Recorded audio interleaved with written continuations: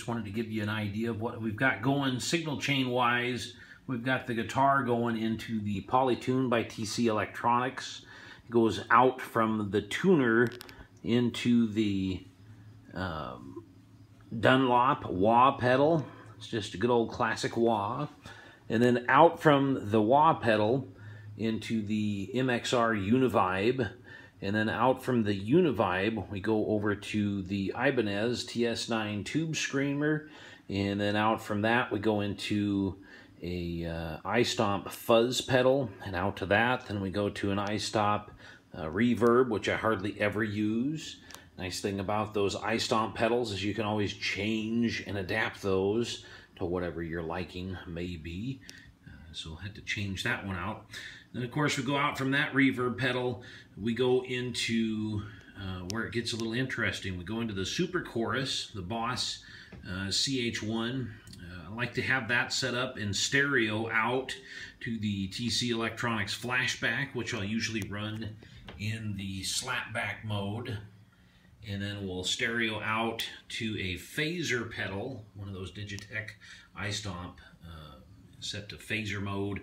And then uh, we're going to go out to the Boss RC3 loop station.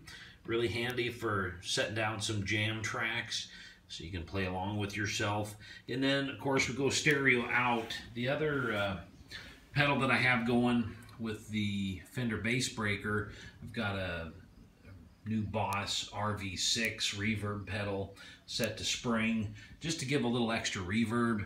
And then uh, the new addition to the family, we've got a nice Marshall uh, DSL 100H. We've got this one set on the classic gain channel with the crunch mode enabled.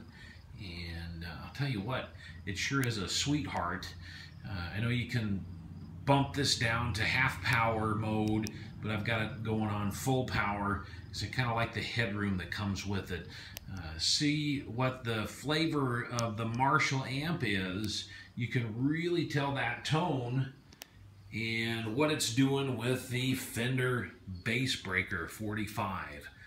Uh, so we'll give you a shot of how we got the controls going on that. Got the guitar going into the both mode.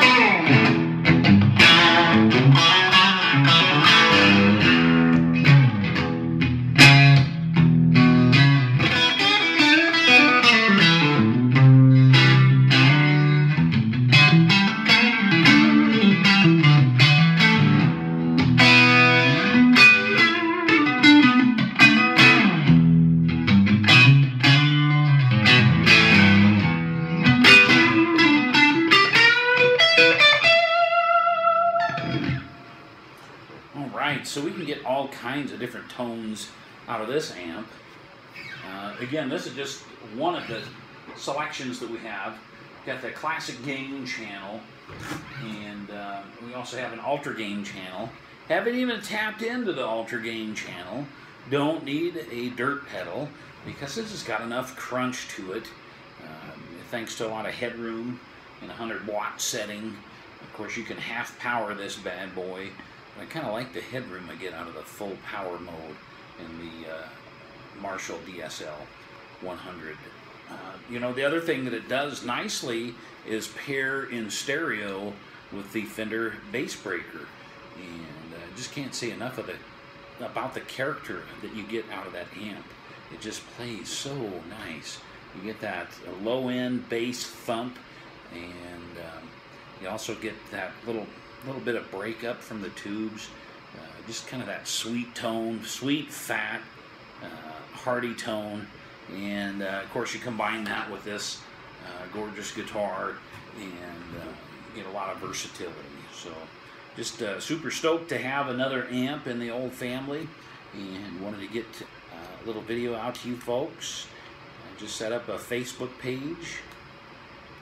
It's called East Heights Studios. That's where all of the magic happens. That's where Blues Domino does all of these funky little gear reviews and playing.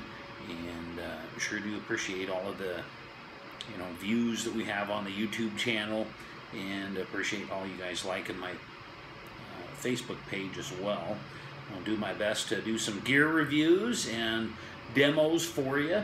Play a little bit of blues, some good old rock, and all that good stuff for you. Just hope you guys are enjoying it. And uh, if you're encouraged to leave a comment, I'd be happy to answer it. And uh, look forward to seeing you out there in the future. So, uh, Blues Domino out.